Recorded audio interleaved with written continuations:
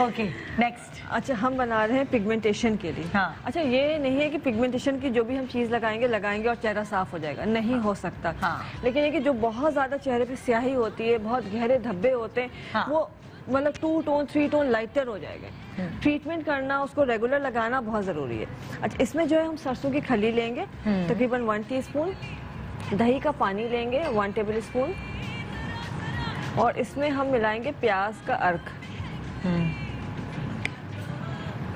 प्याज का जो जूस है वो लेंगे वन टीस्पून प्याज का जूस निकाल के और छान के ये निकालेंगे। इसका आपने पूरा पेस्ट बनाया। चेहरे को वॉश करना है वॉश करके इसको अच्छी तरह से ड्राई करना है टोनर लगाना है ताकि ज़रा सी भी चिकनाई ना रहे। उसके बाद इसको जब ये मिक्स हो जाए अच्छी तरह से इसको लगाएँगे और लगा के हल्का सा मसाज करेंगे और तकरीबन फोर्टी मिनट्स के लिए छोड़ देंगे।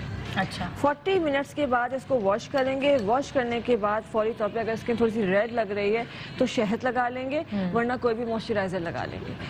एक से दो घंटे के बाद आपको अंदाज़ा होगा कि आपके जो वो है ना पिगमेंटेशन है वो फेड हो गई है। हाँ। लेकिन खत्म नहीं होंगी। एक दफ़ा में खत्म नहीं हो सकती लेकिन फेड हो जाएँगी। इंस्टेंट इंस्टेंट जो है वो फेड हो जाएँगी। इसके बाद मेकअप के ऊपर आप मतलब एकदम ऑब्वियस नहीं होंगी। कभी कभार ऐसा होता है कि पिगमेंटेशन इतनी ज़्यादा होती है अगर आप बेस भी लगा लें बिल्कुल। आप बेस भी लगा रहे हैं तो वो झाँक रही होती है बुरा लग रहा होता है, बुरा लग रहा होता है। आपको बेस लगी होती है आपका ग्रे अजीब सा इफ़ेक्ट आ रहा होता है झाँक रही होती है। यस ऑरेंज काम ऑरेंज बेस लगानी होती है ना अंदर तो। लेकिन हर कोई नहीं लगाता उनको सेंस नहीं होता पता नहीं बिल्कुल। हाँ देखिए बैठे जरा।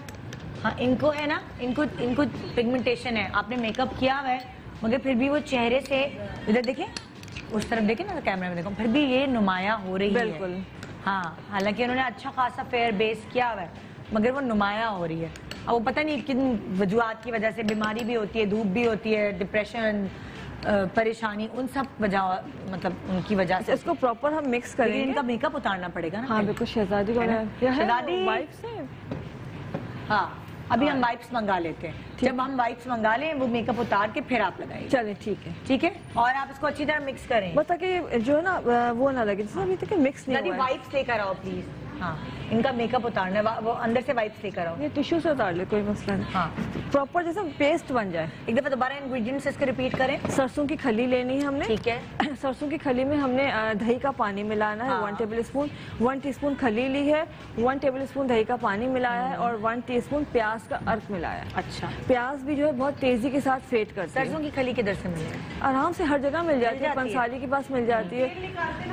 तेल वालों के पास मिल जाती है। ठीक है। और नहीं तो सरसों अगर घर में तो सरसों भी इस्तेमाल कर सकते हैं। अच्छा। वो ज़्यादा तेज होता तेज है। खली थोड़ी सी हल्की होती है माइल्ड होती है और जो सरसों होता है पीली सरसों ले लें और घर में आप बीज पीस के और वो लगा लें। वो और तेज़ी के साथ साफ़ करेगी।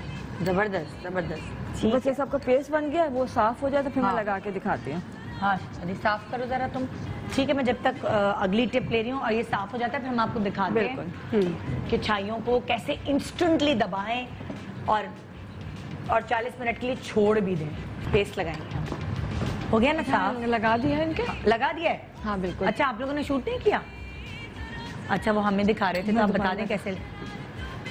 आपने चुपके से लगा दिया बताया भी नहीं। मैं तो उधर ही खोई हुई थी। अच्छा ये वाली। पूरा लेप सा कर हाँ।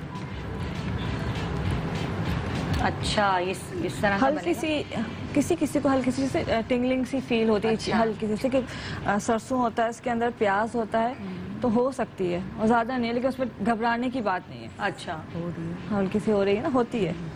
हमेशा जब भी छाइयों को हटाना होता है तो हल्का सा पीलिंग टाइप करनी पड़ती है। peeling इसकी वजह से ये तो होता है। अब अगर आप लेजर के जो ट्रीटमेंट्स हैं जो पीलिंग के लिए होते हैं वो भी देखेंगे हाँ, वो कराने के बाद आपको कहा जाता है पता नहीं इतने दिन तक निकलना नहीं है घर से बाहर धूप नहीं पड़नी चाहिए। और उससे इतनी इचिंग होती है मैंने तो कराया है ना? मेरे वो नहीं थे झाइया नहीं थी अलहमदुल्ला लेकिन मेरे ना ये अलग कलर था। ये अलग कलर था। उसको इवन करने के लिए तो मैंने काफ़ी लेजर ट्रीटमेंट जैसे कि बहुत डिफरेंट डिफरेंट होते हैं। पीको होता है क्या? पीको होता है इंडिया होता है। Scar scarlet scarlet. और वो एक तो बहुत अ, मैंने अफजल लोधी के पास से कराया था वो बहुत इंटेंस होता है। तो वो तो शो शुरू करने से पहले एक दफ़ा कराया था कि वो इवन टोन हो जाए ना तो मेकअप कम करना पड़ता है। आई डोंट नो उसका नाम नहीं मुझे याद आ रहा बहुत उसमें रेड बहुत होता है। रेड होता हाँ, फेस बहुत ज़्यादा। वो उस जमाने में ये था।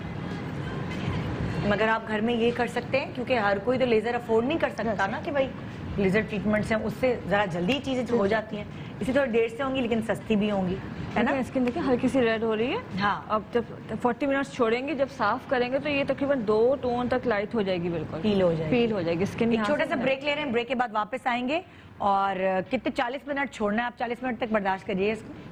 उधर बैठ जाइए, तालियाँ बजाती रही है और फिर 40 मिनट बाद, अभी टाइम नोट कर लीजिए क्या हुआ है। 40 मिनट बाद हम उतार के देखते हैं कि क्या रिज़ल्ट आता है। फिर आप अपने घर में इंस्टेंटली अप्लाई कीजिए।